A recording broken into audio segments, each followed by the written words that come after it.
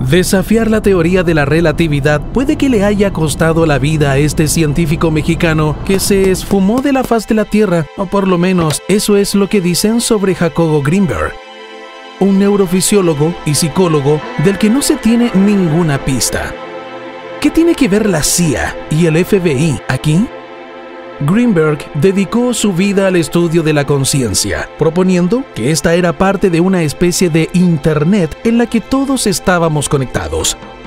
Llegó a esta conclusión luego de adentrarse al chamanismo, estudiando el caso de Pachita, una curandera conocida por realizar cirugías psíquicas. Sin embargo, esta mezcla de estudios formales con lo paranormal hizo que la comunidad científica rechazara sus ensayos. Esto no lo detuvo, su ambición lo empujó a llevar a cabo un experimento a escala mayor entre México y la India, pero Jacobo desapareció antes de realizarlo. Debido a la importancia del académico, se creó una fiscalía al mando del mejor investigador, el comandante Clemente Padilla, al investigar su hogar, descubrió que sus notas y la información recopilada en sus computadoras habían sido robadas. Y justo cuando parecía que Clemente había dado con la respuesta, fue relegado del caso. Son varias las teorías que buscan darle explicación a lo que pasó. Se pensó que viajó a la India para su experimento, pero no hubo prueba de que hubiera salido del país o llegado a destino. Luego sospecharon de su esposa Teresa por no haber informado a tiempo que estaba perdido.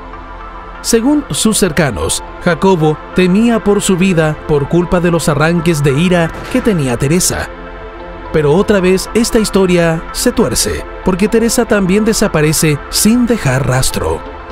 Cuando parecía que no había solución, un operario de limpieza contó que lo vio en Estados Unidos acompañado de dos agentes, la familia desacreditó la posibilidad, pero a Padilla no le pareció tan descabellado que la CIA o el FBI se interesaran en su investigación.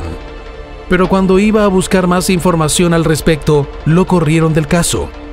Dos posibilidades más se barajan en torno a su misterio. Una es que fue secuestrado por un antropólogo brujo con el que tuvo una riña y la otra es que hizo un retiro espiritual abandonando el mundo terrenal. Lo único cierto es que se esfumó y que cada pista que aparece sobre su paradero termina siendo un camino sin salida. ¿Cuál será la pieza que falta en este puzzle sin solución?